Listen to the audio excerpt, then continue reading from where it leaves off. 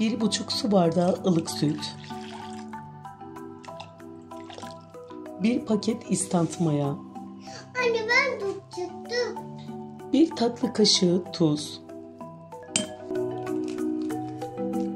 Bir tane yumurta. Bütün malzemeleri iyice karıştıralım. Unu ilave etmeye geçiyorum.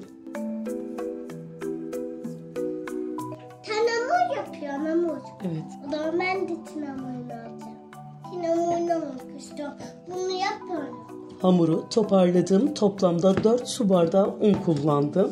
10 dakika mayalanmaya bırakalım. Nefis böreğin iç malzemesi için 100 gram kıyma, bir tane küçük boy küp küp doğranmış soğan, 30 gram ceviz, yarım çay kaşığı tuz, Tuz, bir tatlı kaşığı pul biber. pul biber. Malzemeleri ilave ettikten sonra iyice karıştıralım. İç malzemeyi hazırlayıp kenara alalım. Hamuru mayalandı, tezgaha alalım. Un serperek hamuru tekrar toparlıyorum. 8 tane eşit şekilde bez hazırlayalım. Bezelerden ilk öncelikle bir tanesini alıyorum. Çok fazla açma işlemi uygulamadan sadece oklavayla büyüteceğim. Büyüklüğü bir çay tabağı büyüklüğü kadar olursa yeterli olacak. İçerisine hazırlamış olduğumuz iç malzemeden koyalım. Daha sonra toparlayalım.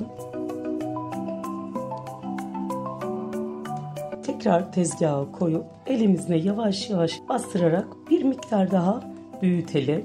Bütün börekleri bu şekilde hazırlayalım. Börekleri yağın içerisine koyalım ve kızartmaya başlayalım. Yağ ısındıktan sonra börekleri içerisine koyalım. Ocağın altını kısalım. İçerisi daha iyi pişsin diye arkadaşlar.